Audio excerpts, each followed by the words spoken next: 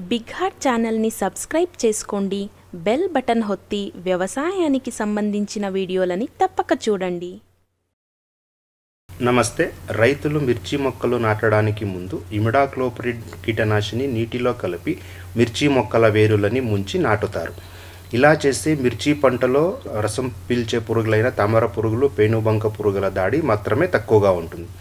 Begot అగ్రిబడ్డి మిర్చి సాగు పద్ధతిలో మొక్కలు నాటిన మూడు నాలుగు రోజుల్లో రిడోమెట్ ఇకోనిమ్ హ్యూమికాస్ మూడు మందులు కలిపిన నీరు వేరులకి ముప్పై మిల్లీలు ప్రతి మొక్కకి వేయమని సిఫారించారు.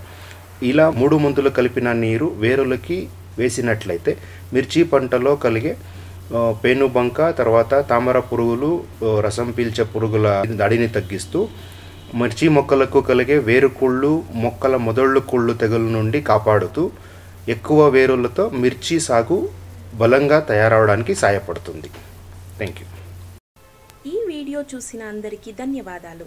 ఇలాంటి మరిన్ని వీడియోల కోరకు బిగ్ హార్ట్ ఇండియా ఛానల్కి లైక్ షేర్ మరియు సబ్స్క్రైబ్ చేయండి.